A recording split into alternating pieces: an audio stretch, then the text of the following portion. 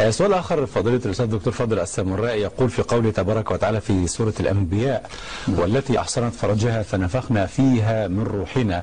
آه، أما في سورة التحريم فيقول فنفخنا فيه من روحنا. آه، ما الفرق؟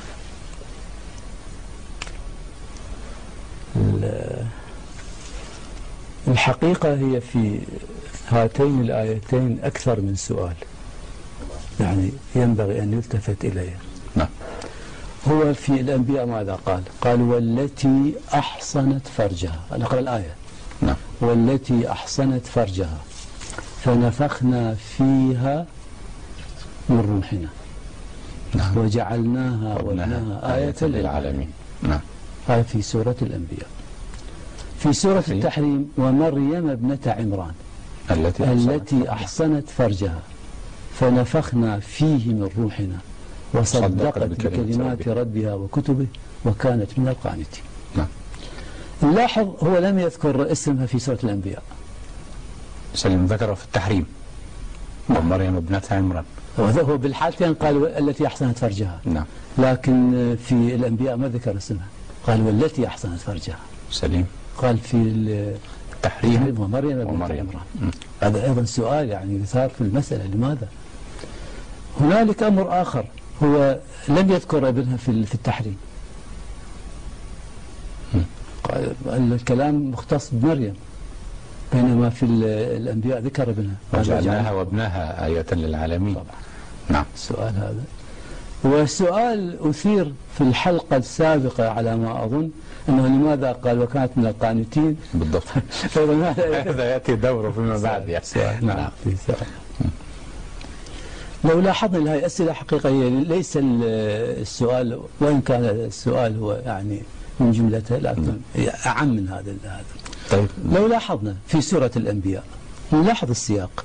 كان السياق في الأنبياء في ذكر الأنبياء يعني ذكر موسى وهارون وإبراهيم ولوط هكذا متسلسل. نعم. وإسحاق ويعقوب وداود وسليمان وذنون وإسماعيل وأدريس وذي الكفل وزكريا ويحيى كلهم ذكرهم في السياق.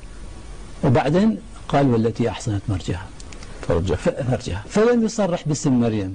لماذا؟ لأن السياق في ذكر الأنبياء وهي ليست نبيا. الله.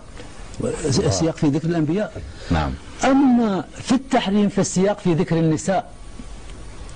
بدل. يعني امرأة فرعون. امرأة فرعون وامرأة نوح وامرأة لوط. نعم. طبعا فالسياق ذكرها. هذا أمر. الأمر الآخر طبعا ناسب ذكر اسمها لأن السياق في ذكر النساء. نعم الأمر الآخر عندنا التصريح يعني التصريح بالاسم. في المدح؟ إذا كان في المدح أمدح تصريح بالاسم. وبالذم أذم. لما أصرح باسم أنت فلان فعل كذا وكذا. بالمدح أمدح وبالذم لا أذم شك لما الله. تذكر اسمه بالمدح مم. أمدح لو تذكره نعم. بالذم لما. تذكر أذم. أذم. نلاحظ هي أعلى المذكورات في سياق النساء.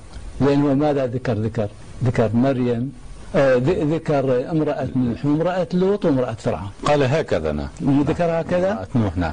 إذا لما قال ومريم ابنة عمران. هي أعلى المذكورات في سورة مريم. ذكر اسمها. وهي أقل المذكورين في سورة الأنبياء. الأنبياء أنبياء. صح. هي أعلى المذكورات في سورة مريم فذكر اسمها. وهي أقل المذكورين منزلة في سورة الأنبياء ما ذكر اسمها ما شاء الله. الأمر الآخر هو السؤال قال فنفخنا فيها من روحنا. وفيه. فيه من روحنا. أولا كلمة فيها من روحنا فيها حالتين. فيها أولا أعم من فيه فيها عموما. مم. فيه الموضع.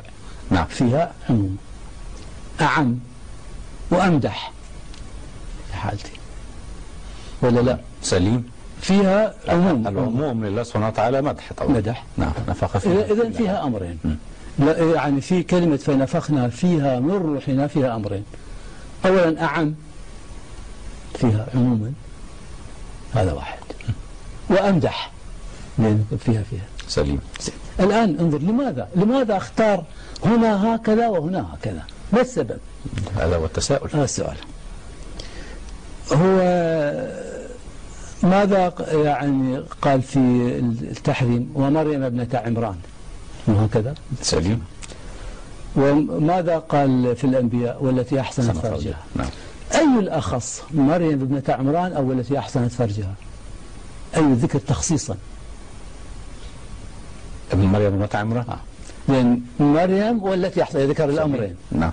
إذا إذا مريم ابنة عمران أخص من والتي أحسنت فرجها. سليم. فذكر الأخص مع الأخص. الله. قال فنفخنا فيه.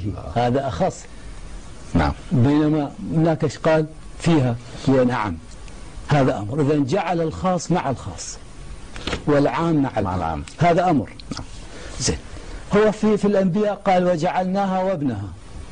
آية للعالمين. أي الأعم جعلناها وابنها أو جعلناها وحدها؟ أي الأعم أشمل. مم. جعلناها وابنها ولا جعلناها؟ جعلناها وابنها. طيب. جعل إذن قال أيضا لما قال جعلناها وابنها قال فيها. جعل الأعم مع الأعم. سليم. هذا أخص. أو لما خصص مريم وحدها. قال فيه. قال فيه. إذا إذا لاحظ السياق لاحظ لاحظ السياق. نلاحظ مسألة أخرى. إذا عرفنا لماذا هي جعلها أعم سياق هكذا. لكن لماذا أمدح؟ زين. سليم. أولا نلاحظ أي الأمدح؟ جعلها وابنها آية للعالمين. أو صدقت بكلمات ربها وكتبها. صدقت بكلمة آية هذا يعني ليس كل واحد يكون آية للعالمين في المدح والخير. أما صدقت بكلمات ربها وإن لم تكن نبية وكثير من الناس يصدقون يصدق. بكلمات ربها. إذا جعلناها آية. آية للعالمين هذا أمدح. فقال فيها. يا سلام. أمدح. هذا أمر. الأمر الآخر هي في سورة الأنبياء وردت في ذكر سياق الأنبياء. يعني كل التقى الأنبياء. إذا وضعها في مكان أمدح قال فيها. بينما في سورة آل عمران. في لا لم. يذكر في في التحريم لم يذكر في سورة هذا. نعم. فإذا جعل هذا الأمر. لكن يبقى السؤال لماذا ذكر ابنها في في سورة ال- الأنبياء؟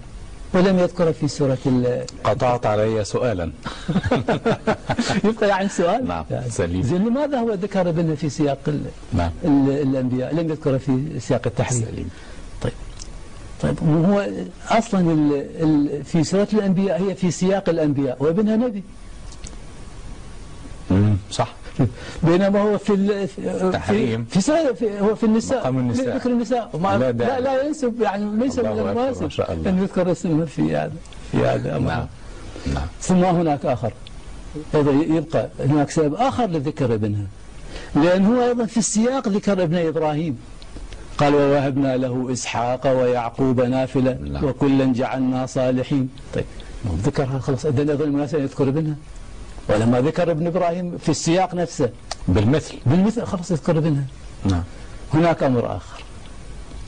لو لاحظنا يعني فيما يتكلم على مريم دائما يقول فنفخنا. بالضمير التعظيم ما يقول فنفخت. بينما في آدم يقول فنفخت. نعم. فإذا سويته ونفخت فيه من روحنا. ثم سواه ونفخ فيه ونفخ. لكن لم يقل مرة في في مريم نفخت كل نفخنا عن طريق الرسول يعني جبريل أو كذا.